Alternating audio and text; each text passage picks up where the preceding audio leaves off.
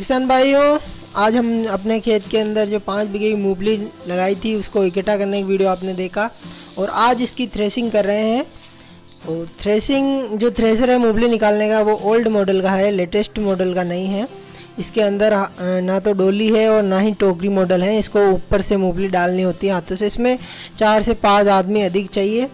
और ये एक घंटे के आठ सौ रुपये ले रहा है अभी मूंगफली निकालने का। और जो टोकरी मॉडल और जो डोली वाली मशीन आती हैं, वो हज़ार रुपये घंटे के ले रहे हैं। तो अभी फ़िलहाल वो यहाँ पर अवेलेबल नहीं है, इसलिए ओल्ड मॉडल से ही मूवली निकाल रहे हैं और इसके साथ जो कचरा निकलता है, उसमें भी मूवली जाती है पीछे आप देख सकते हैं, इसके अंदर भी मूवली चली जाती है। तो इस कचरे को वापस थ्रेसर के डबल निकालना होता है और यहाँ पर जो मूवली की कुलियाँ होती है मिट्टी के अंदर, वो अलग निकलती हैं।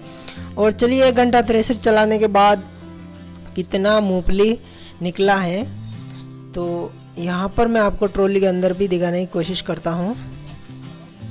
और इसके अंदर कितना एवरेज मिलेगा, यानी एक बीघे के अंदर मूंगफली का कितना उत्पादन हुआ है, ये अभी फ़िलहाल हम नहीं बता सकते हैं, क्योंकि अभी मूंगफली पूरा खेत का निकालना बाकी है।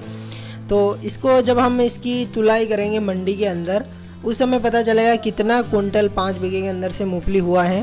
फ़िलहाल अंदाज से ऐसे कुछ नहीं बताया जा सकता है तो वो वीडियो हम आगे अपलोड करेंगे। फ़िलहाल आज आप देखेंगे कि इसकी थ्रेसिंग कैसे किया जाता है। तो किसान भाइयों, ये जो थ्रेसर आप देख रहे हैं, इसमें धूल मिट्टी काफ़ी उड़ती है, मजदूर काफ़ी परेशान होते हैं और ये एक बीघे का मूंगफली 40 मिनट के अंदर निकाल देता है। तो चलिए आगे आप पूरा वीडियो देखिए।